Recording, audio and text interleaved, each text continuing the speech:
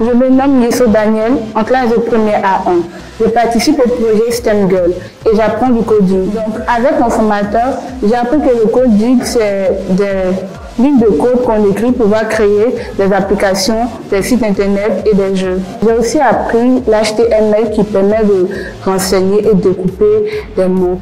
J'ai appris aussi le CSS3 qui permet de rendre agréable ce qu'on fait et le JavaScript qui permet d'animer notre travail. Ce programme est important parce qu'en premier, il contribue au développement personnel de la jeune fille et en second, il de découvrir le monde des, des STEM, de pouvoir s'y investir et de commencer à l'apprendre et le pratiquer à la longue. Aujourd'hui, nous voyons que le monde évolue et aussi la jeune fille a sa place dans cette évolution.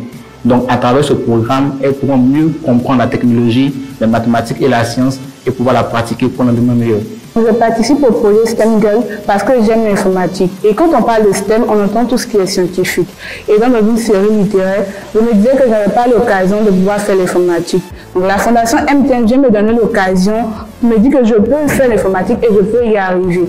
Et que ce ne sont pas seulement que les garçons et ceux qui sont en série scientifique qui peuvent faire l'informatique.